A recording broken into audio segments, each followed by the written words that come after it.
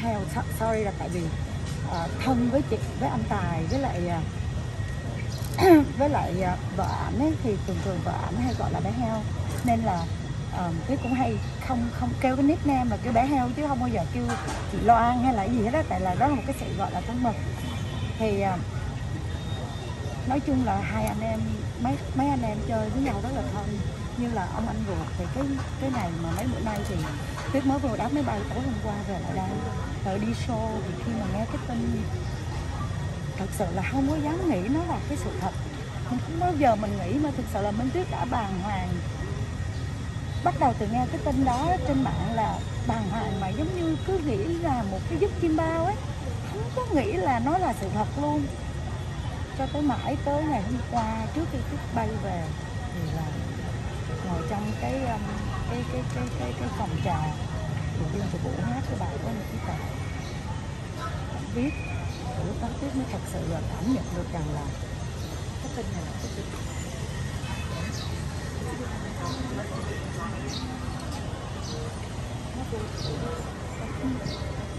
Không không không biết phải diễn tả như thế nào.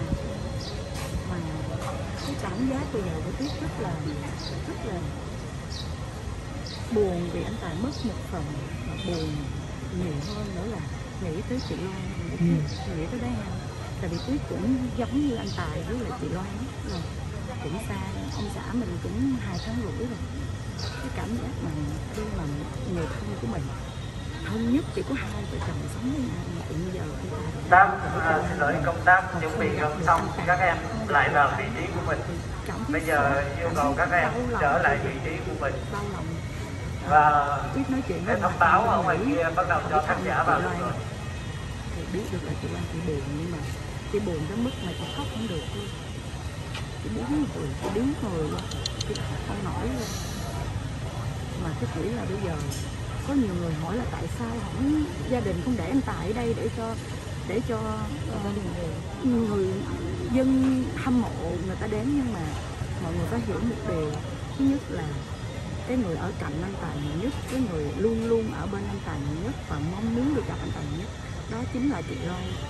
Và chị Loan, bây giờ phút này, anh Tài mất mấy ngày rồi mà chị vẫn không được gặp mặt anh Tài, vẫn không được ở bên cạnh anh Tài.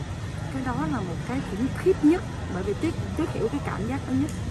Bởi vì khi mình sống với một người mà 24 trên 24 với người đó, bây giờ người đó ra đi, chỉ còn có một mình mình. Cái cái cảm giác nó khủng khiếp lắm cho nên là cũng mong mọi người hiểu cái điều đó. Nên chị Loan chị muốn anh Tài trong giây phút này phải trở về với chị. Cái điều chị nhớ nhất trong cái lần mà đi show tại anh Tài là gì um, thực sự với anh Tài hả? Lúc nào gặp anh Tài cũng là một cái điều rất là nhớ mà nhớ mà gần đây nhớ nhất á thì là mình cứ coi lại cái clip à, làm cái chương trình game show chung với anh Tài á. À, Tuyết còn nhớ Tuyết hát với anh Tài bài tình bơ vơ. Anh Tài là một người nghệ sĩ Một người anh quá dễ thương thì mình không nói rồi. Thường thường thân tới mức mà không kêu anh Chí Tài luôn Kêu Tài ơi Tài ơi Kiểu mà kiểu mà mình mình giỡn Ừ, nha dạ, Thân dạ, tới dạ. mức là Tài nha em nói Tài nghe này Em nói Tài nghe kia. Anh Tài á Ảnh làm giám khảo chung với Tuyết Mà mỗi lần thí sinh á Tập nhạc ảnh đều có mặt. Và cái ngày mà ảnh hát chung với Tuyết bài tình bơ vơ Ảnh đàn cho Tuyết hát ấy Là anh cẩn thận, anh tập từng câu, từng chữ, anh phiêu từng cái này, anh phiêu từng cái kia. Là hai anh em hát với nhau. Trời, thích lắm, anh còn nói chứ. Bữa nào anh em mình đi show gặp nhau, hai anh em mình hát nha.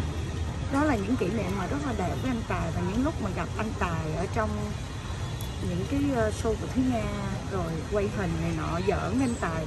Và thường thường tụi Tiết hay giỡn với ảnh bảo là, anh Tài ơi, anh Tài mua cho em ờ, ly cà phê nên tại nó không không anh Tài mua là trời đổ mưa đó sạc show đó. Là tụi này hay lấy cái đó ra giỡn với ảnh nhưng mà biết ảnh rất là ấm áp và cũng như anh Tài thì ờ, với Tuyết có một cái điều mà Tuyết cảm thấy mình rất là vinh hạnh và hân hạnh là anh Tài luôn luôn. Hồi đó giờ anh Tài nói là em có biết là anh không bao giờ mua CD của ai không? Tại vì anh Tài anh hay giỡn là anh không có bỏ tiền ra đó. Ừ, ừ. nhưng mà anh mua CD của em là bởi vì chị bé heo ờ, chị rất là thích Minh Tuyết hát Ừ. và á, chị bé heo canh mỗi cái CD của Minh Tuyết ra là chị bé heo à, mua hoặc là chị cô à, chị Thủy Thúy Nga tặng cho anh Tài với mấy hơn cứ mỗi lần vô warehouse á là lấy thiệp Minh Tuyết thì đó là một cái điều mà Minh Tuyết nghĩ rằng là à, mình cảm thấy hạnh phúc nhất là một cái điều mình đem đến cho anh Tài với chị bé Hao một cái sự ấm áp nào đó trong nhạc. đó là cái điều tôi cảm thấy mà mình hạnh phúc nhất trong giây phút này. Khi mà chị về Việt Nam ấy, thì anh Tài với chị, chị rất là lâu cũng quen với showbiz Việt từ lâu rồi có giúp đỡ chị. Um, thực sự là bởi vì à, anh Tài thì ảnh bên cái hướng về hài Tuyết thì bên bên hướng về hát cho nên cũng à, không với lại thực sự là Tuyết cũng có chị Cẩm Ly ở đây á cho nên à, cái con đường Tuyết đi về Việt Nam hoặc là sinh hoạt ở Việt Nam nó cũng khá là suôn sẻ và dễ dàng à, chỉ có là anh em gặp nhau à, nói chuyện vui hoặc là tâm sự hỏi han về bên Mỹ hoặc bên Việt Nam là phần lớn chứ cũng không có à, nói sâu vào vào vấn đề một thuật lắm giữa anh Tài với quý cho nên là à, với anh Tài thì thật sự là nếu mà nói về nghề nghiệp thì anh em không có nói nhiều. Chỉ là giỡn với nhau là phần lớn.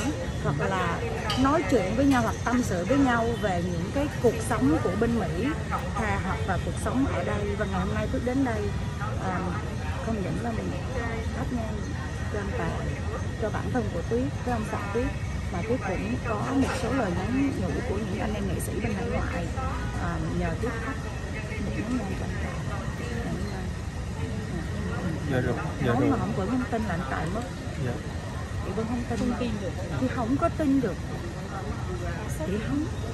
Tại vì anh Tài là một cái người mà phải nói là ảnh rất là lúc nào mình cũng thấy ảnh là một cái gì đó nó phải hiện hữu nó phải trước mặt mình nó phải nó nó, nó với lại anh Tài là một người rất là chăm sóc sức khỏe ảnh ảnh là ăn uống rất điều độ và tập luyện thể tập thao. luyện thể dục thể thao. Có nghĩa là mình ví dụ một người mà mình cảm thấy là họ ờ, sống hơi buông thả hoặc là à, có một cái bệnh hoạn gì mà mình cảm nhận một cái điều gì đó nó không có một cái dấu hiệu gì mà mình luôn luôn không có nghĩ. Nói chung là không thể nghĩ được cái chuyện nó xảy ra. Dạ. Cái lúc mà tuyết ngồi đang ngồi trên xe đi show ấy thì cái ờ, cái bạn make up bạn nói chị ơi bạn đưa cái phone cho, cho chị như vậy nè cho tuyết này nè. Tuyết đọc cho nó cái gì? Tưởng là giống như người ta xạo ấy. Tại vì mà hay có bị tinh dịch á. Muốn xỉu luôn á muốn xỉu luôn không tin nó là sự thật. Thì lúc đó tuyết bắt phone lên cái người tuyết gọi đầu tiên là tuyết gọi tuyết hương tại vì tôi biết chị hương rất là thân với anh tài chị hương nó khóc. Khóc quá trời luôn nó nói nó khóc quá trời nó nói là tao tao đang ở đây đang làm dầm giấy tờ tao đang dòm đây cầm giấy tờ có công an đây tao đang ấy ờ, ờ, mấy cái đồ của anh tài ở đây tao, tao không nói chuyện với mày được anh tài chết rồi luôn khóc quá trời khóc. Thì lúc đó là biết biết đó là sự thật. Và lúc đó là biết sự thật rồi không không biết cảm ơn chị